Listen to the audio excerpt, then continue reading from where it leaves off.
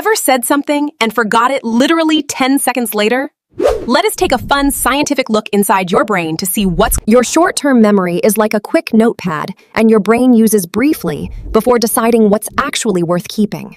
When you speak, your brain stores that information for a moment in this short-term memory zone, just long enough to stay in the conversation. But short-term memories are delicate. They only stay active if your brain thinks they matter for more than a few seconds.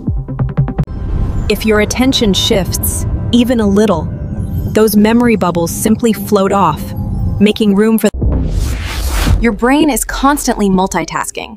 So if you're about what to say next, or what someone else just said, this is why you sometimes stop mid-conversation like, wait, what was I saying?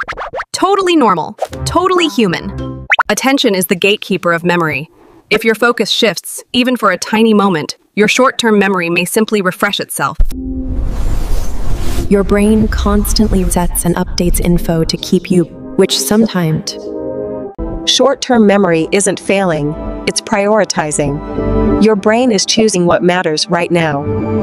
So the next time you forget your own sentence, don't panic. Your brain is simply refreshing the page to keep you moving forward.